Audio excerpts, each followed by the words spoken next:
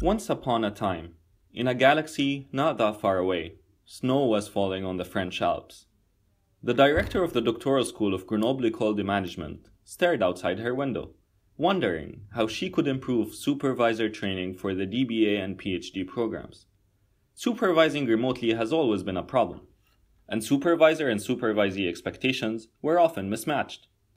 The poor new supervisors, she thought, they have no idea what awaits them she wondered if a new tool for training supervisors to anticipate and deal with such challenges would ever exist.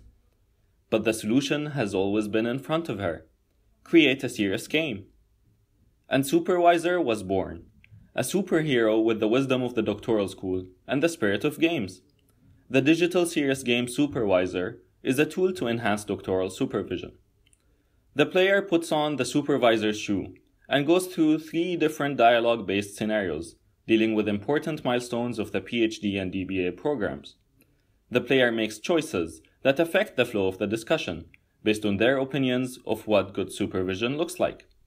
At the end of the game, we provide a framework based on the choices made by the player with personalized feedback and resources to go further. In Superwisor, we do not judge or rate supervisors. On the contrary, we provide an environment for the supervisors to reflect on their practices, rate themselves, and discuss with colleagues. We want to bring empathy into supervision and build awareness to best practices in a fun, lightweight, and informal way. A serious game accomplishes just that a protected environment where players can experiment, learn, and have fun all at once. Got any questions? Want to learn more about Superwisor? Visit superwisor.com.